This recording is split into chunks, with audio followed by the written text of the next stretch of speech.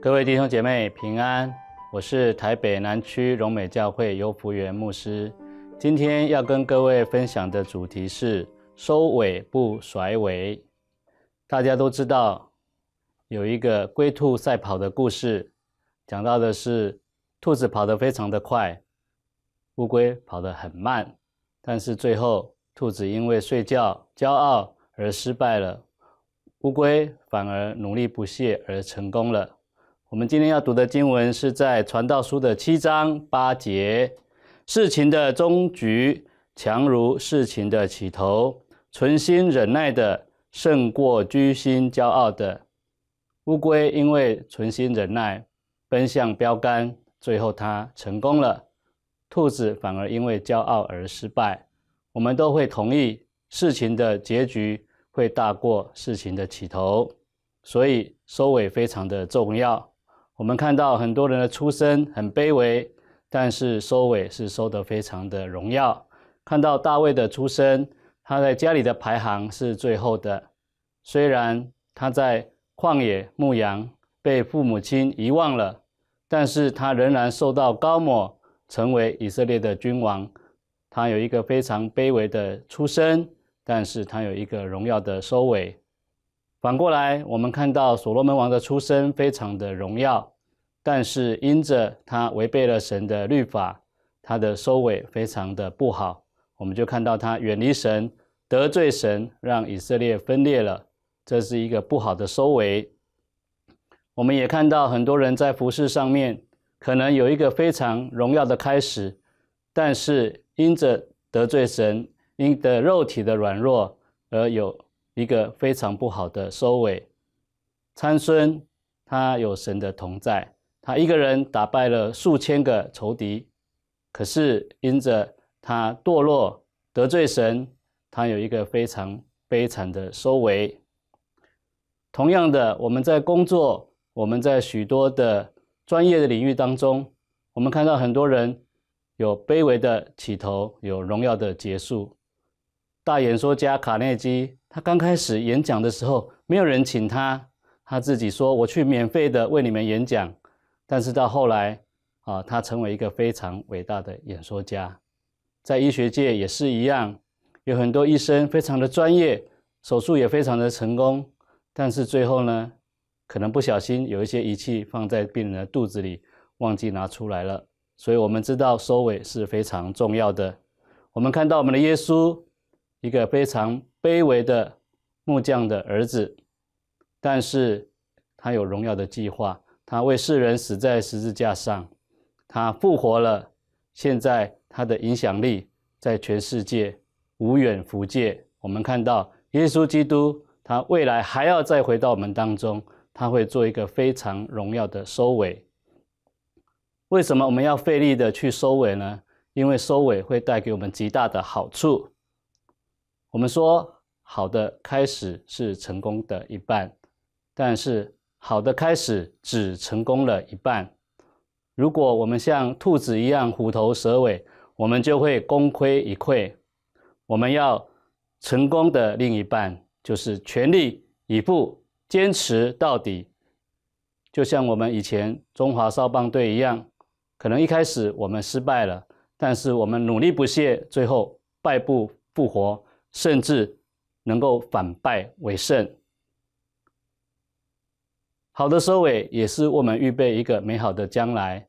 很多年轻人在工作的时候不做了，就自己离开，没有好好的交接，这不是一个预备未来的方法。我在第一个公司的时候，我准备离开的时候，我跟公司有一个非常美好的交接和祝福。后来公司再一次的请我回来。在就任经理的工作，因为我做了一个很好的收尾。我们看到在圣经里面有一些好的收尾。我们看到以撒和亚比米勒王离开的时候，他们彼此的祝福。我们看到雅各和他的哥哥以扫当他们重新会面的时候，他们有一个很好的祝福，这就是一个平安、没有亏欠的收尾。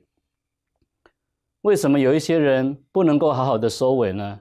因为我们生性懒惰、散漫、随便，我们让我们的情绪来主导我们的人生，我们让情绪来主导我们的工作，甚至可能我们个性害羞、内向，也有一些受伤的地方，所以我们不能够好好的、理性的来收尾。我们在生命的当中，我们眼浅，我们短视，我们怕麻烦，我们常常只看到自己，没有看到大局，乃至于我们只顾眼前的，我们没有看到未来，因此常常在做事的时候草草了事，用一种打工的态度来工作，造成我们常常不能够好好的收尾。这都是因为我们的无知。我们不认识上帝，我们不认识自己的位分。我们来到了我们的职场，我们是有呼召的，因着上帝的呼召，我们来到这里，所以我们不能够在那边甩尾，我们必须要好好的收尾，来荣耀上帝，也知道自己的位分。我们如何能够好好的收尾呢？我们必须明白自己的呼召。当以斯帖。遭遇到国家的患难的时候，莫迪仔跟他说：“你岂不知你今天的位分是为了今天的呼召吗？”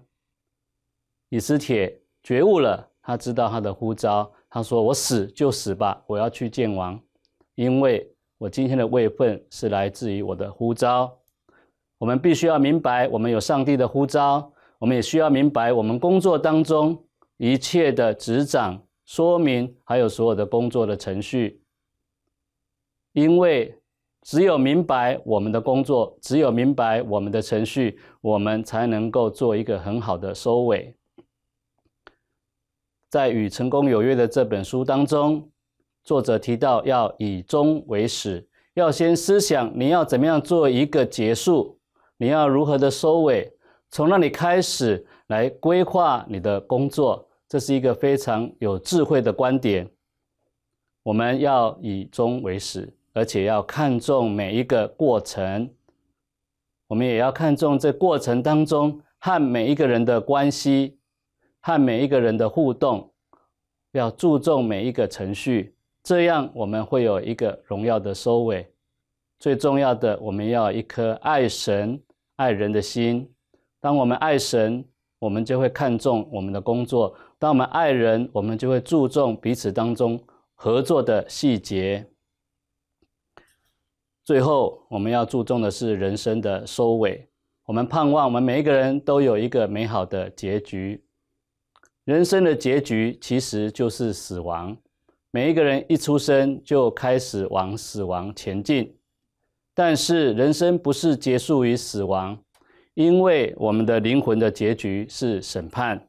希伯来书九章二十四节、二十七节，按着定命，人人都有一死。死后且有审判，灵魂的结局是审判。感谢神，信徒的结局呢是奖赏。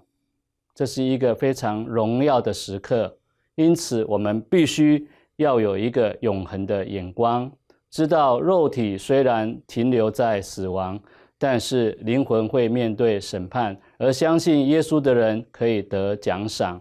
有着这样一个永恒的眼光。我们就能够有一个荣耀的收尾。在我们生命当中，也有一个标准的作业流程，就是我们的圣经。圣经把你的开始、创造世界的由来，以及我们的结束启示录，都从头到末了完全的启示给我们了。